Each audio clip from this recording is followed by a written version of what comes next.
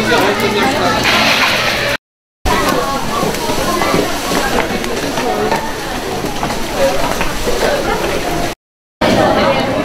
老板，我想问一下，就是说呃，你在这里住了多久？我在这里出生，住了呃，民国三十七年出生的，到现在六十几年了，六十六十六年多了。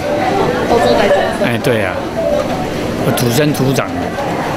你知道说这里以前有很多人来拍电影吗？对我小时候都那时候经常人家来这边拍香拍电影，因为那时候九份有小香香港之称，而且啊、那个房子哦也也不是像现在这么现代化，都是那个一些黑黑皮的那个黑黑屋顶的那个那个那个什么，他也是讲那个那个国有的那个那个什么，哎。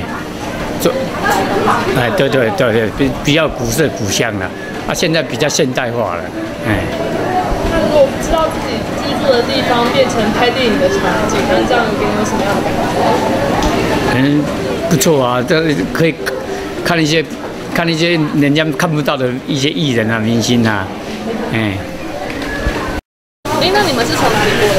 哦，我们从台北，嗯嗯第一次来九份吗？嗯，不是哎、我我之前已经来但是我。们是第一次自己搭公车对来，，因为因为我们两个是同学，对，你们现在是念大学？大大学一年级。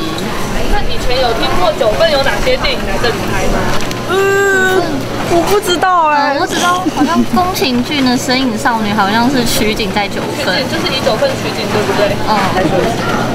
嗯，嗯，因为它的风景很漂亮，因为其实在台北很难看到海，对还有这边的小吃啊，那边这边逛的就是有不一样的东西吧，就是有别于你在台北其他市区所看到的东西。